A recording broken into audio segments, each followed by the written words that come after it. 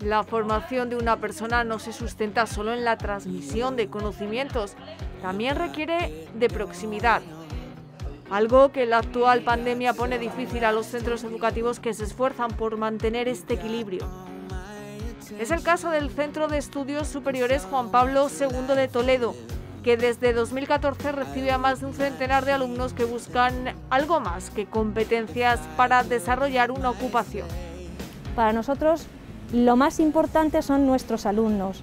No solamente transmitimos conocimientos, sino que buscamos el transmitirles pues una humanización, o sea, que sean profesionales que estén también centrados en las personas a las que van a acompañar a lo largo de su historia profesional. Queremos darles una, una formación integral, no solamente en capacidades laborales, sino también en competencias sociales, porque entendemos que para ser un gran profesional tienes que ser una gran persona.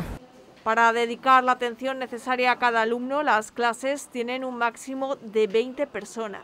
Entonces sí que la cercanía es muy, mucho mayor que en un centro con mucho más alumnos. Intentamos estar pendiente de ellos. Eh, tienes la cercanía de tus profesores y aparte de que aquí en, el grupo de mi clase tenemos una, pues al final es una familia, ¿no? Aparte porque eh, dan a, inculcan como que conozcamos mucho a los demás grados y demás, tanto marketing como EDI, y que nos llevemos todos muy bien. Nacho es alumno del ciclo formativo de grado superior, técnico superior en enseñanza y animación sociodeportiva. Está en su segundo año y confía en las oportunidades laborales que estos estudios le pueden aportar. Yo ahora mismo juego a balonmano y pues eh, aparte de que me gusta mucho lo que es la actividad física, pues eh, vi este deporte, eh, o sea, este grado aquí y me decidí a hacerlo, la verdad. Por desgracia nos ha tocado vivir ahora esto del, del COVID, ¿no? Y pues va a ser un poco complicado, pero bueno, lo que se puede hacer pues se hará, tanto trabajo como ir a, a un gimnasio donde se pueda ir. El centro ofrece también formación profesional reglada en educación infantil o en marketing y publicidad. Kevin vio una oportunidad para mejorar sus expectativas laborales a raíz de la crisis del coronavirus? Pues yo me decidí más que nada porque antes de esto estaba trabajando en hostelería, llevaba tres años y vino todo esto del COVID, de la crisis y entonces vi que la, la gran oportunidad que te ofrecía el mundo digital, el teletrabajo, todo este tema, entonces me interesé por esto. Entonces, más que nada fue a raíz de la crisis. Bueno, en general están todos con expectativas y con ganas de salir. Otros, bueno, tienen su intención de pasar por aquí para luego ir a la universidad.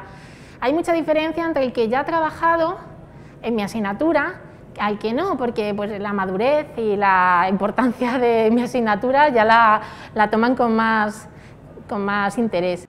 Eva María imparte clases de formación y orientación laboral una de las materias comunes a todos los ciclos y forma parte del equipo de 23 docentes que tiene este centro. Nuestros profesores son profesionales en la materia en la que, imparten y pueden además eh, ejemplarizar todo aquello que teorizan. Yo antes de estar de profesora estuve 15 años en el mundo de la asesoría laboral, entonces eh, intento hacer esta asignatura muy práctica y que la vean muy visible y muy útil para su vida diaria. De hecho, eh, acabo de tener una clase y me dice, ayer cogí en la nómina a mi padre y me puse a mirarla. Bueno, pues eh, que la vean útil. Y luego, pues sí, cuando ya salen del centro y a lo mejor con un contrato temporal de verano, pues me dicen, hey, me he acordado de ti, he ido a los apuntes al libro. La matriculación para el próximo curso permanecerá abierta hasta septiembre con la novedad de la incorporación del ciclo en desarrollo y aplicaciones multiplataforma. Además, disponen de formación profesional subvencionada destinada a personas desempleadas con titulaciones tan demandadas como el certificado de profesionalidad de atención sociosanitaria a personas dependientes.